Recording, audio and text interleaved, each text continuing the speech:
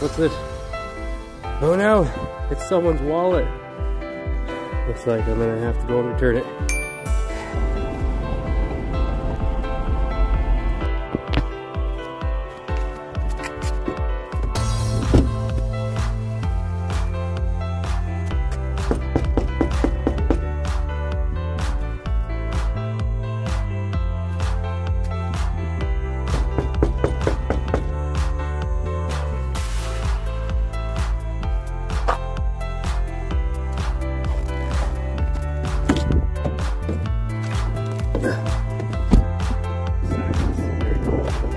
I was knocking on the door and I was trying to. I thought it was a dog.